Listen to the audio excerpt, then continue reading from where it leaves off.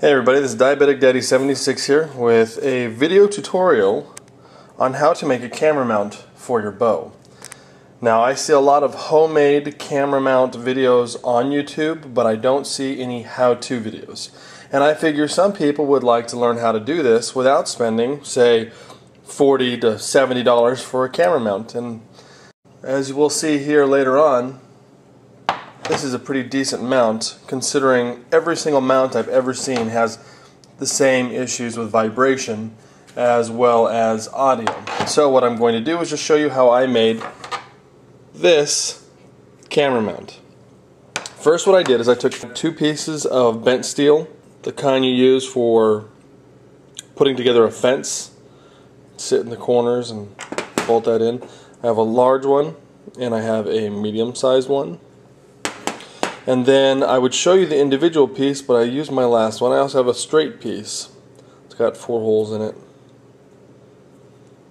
So what I did is I took the straight piece and I attached it to the larger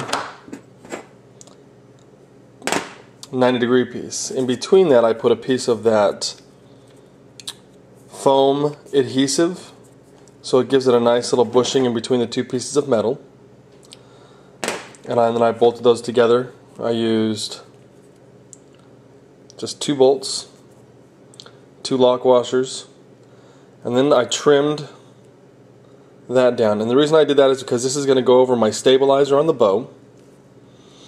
And if I kept these two holes, it was just too long. This would have been too much.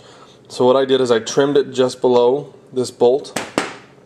And so that way if I want to, I can mount my camera right on top of my stabilizer, running straight out in front of it, or I can mount it to the side, which is how I've opted to do with this one. Then what I did, after bolting that, is I attached the smaller piece of bent metal here.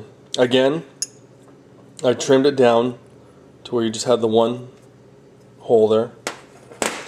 And then I used a rubber washer. If you can see here, right there in the middle. And then I bolted that also with a lock washer. And then I basically had everything in place. I filed everything down by the way. You don't want sharp edges. So I filed everything down. Then I trimmed the bolts. And I used the magical JB Weld. I mixed a little batch of the JB Weld and I placed it over the nuts and the washers as you can see there. I filled in any seams, unseemly seams, get it? and then I also ran along the side, and, and here if you can see this JB Weld job I did along the side here, that's actually where that styrofoam adhesive is in between there. Now when I bolted it together, of course that styrofoam clinched real tight. And the reason I use the styrofoam and the uh, rubber washers the reason I did that is because every time I see videos on these camera mounts, when someone shoots, there's a lot of vibration. So what I'm trying to do is actually minimize that vibration by putting shock absorbers in between pieces of metal. Then what I did is I actually dissected a tabletop camera tripod. Those are one of those little three to four inch tripods you can put on a table, really good for a little quick shoot photography. I took the bolt out of that and I fed it through one of the holes on the last piece of bent metal and then I put another rubber washer on there. The reason I did that is twofold. Number one, the rubber washer actually keeps that bolt in place. Number two, it acts as a bushing for the camera so when I shoot again it's another area to absorb the shock. And then the very last thing I'm going to do is I'm going to paint this because this is, as you can tell, bright, shiny steel. And I needed to match the environment around me, so I'm going to paint it to the camouflage of my bow and my stabilizer. Then what I'll do is I'll take a snapshot of the finished product. But first things first, let's mount this back onto the bow, and let's run a few shots in the backyard, see what it looks like. And then, once everything's all said and done, and here we got my bow case. It's not the most raddest in the worldest, however, it serves its purpose pretty well and I enjoy it. But look, when you disassemble your bow to store it, your camera mount will fit right in there along with your stabilizer and whatever else you use. One thing that I like is that, as you can see, here's my bowstring. I can turn the camera 360 degrees without being bumped by the bow and without causing any great problems with the actual filming. Anyhow, let's go shoot this thing. Alright, I got a block type target set up about 20 yards out. We're going to go ahead and give it a run here and see how this works.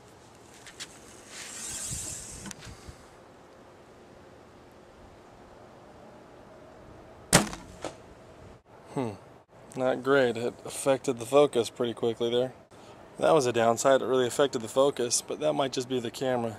I'll have to try this with another camera mount here and we'll see with another camera mounted. I'm going to try this with a different camera.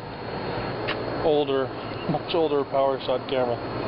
Um, the reason I'm trying an older one is because I think that the older cameras, the technology may not be as sensitive to things like vibration because they're not as high quality. I know it sounds ridiculous, but we're going to give it a try.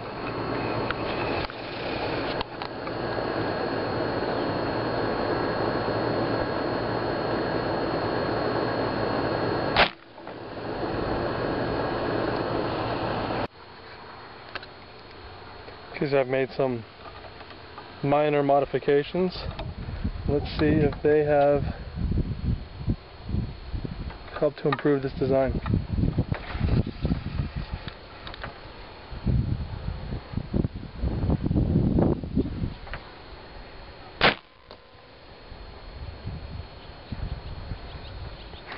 Let's take a look. Okay, now that we've dealt with the fabrication of the camera mount, now we're going to go ahead and cami it up. So I'm going to go ahead and take a light tan coat and kind of primer this thing. I already painted it black. I wasn't really thinking. I meant to do a lighter shade first.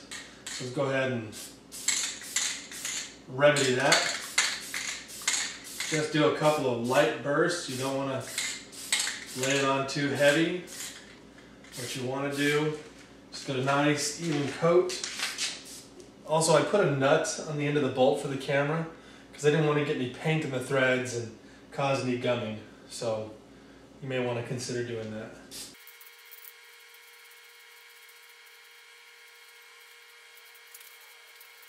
Okay, so we got the main coat done. I'm going to go ahead and use a uh, heat gun, kind of speed up the process of drying. Alright, the next thing I've done is I've cut some masking tape and little patterns I can put on there for when I do my other coats. And then I came up with another idea.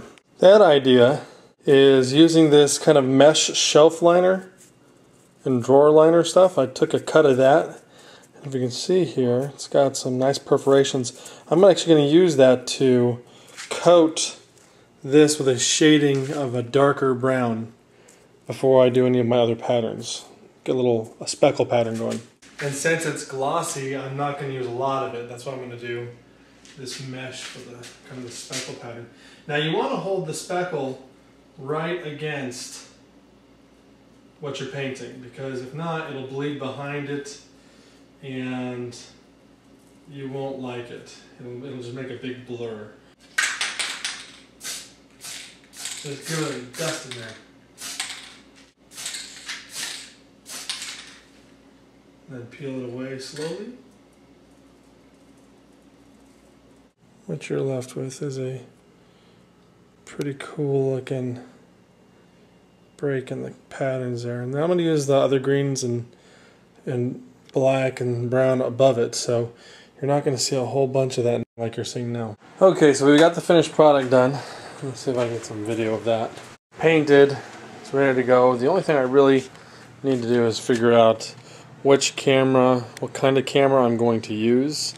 Right now that old PowerShot seems to withstand the vibrations pretty well.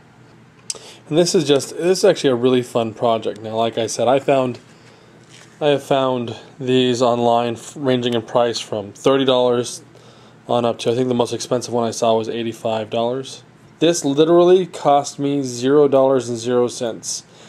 Yes, I did have to buy these products, these items at one point in time, but these are actually all leftover stuff I had in the garage from other projects I've worked on around the house. So if I were to buy these raw materials individually, I think this would have cost me $7. It's important to note a couple of things. Number one, in your state, it may be illegal to hunt with any mounted electronic device.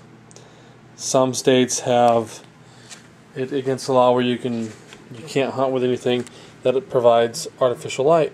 And I believe that this here counts as artificial light, but I don't know. Like I said, it's all dependent upon your state.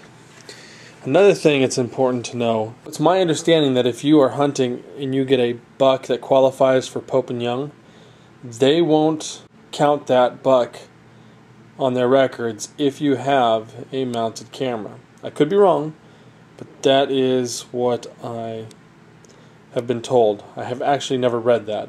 Hopefully, this how to video was worthwhile. It is the beginning of bow season here next week, and it is good thing because I'm running out of food in the freezer, and it's hard to be paleo when you can't be paleo.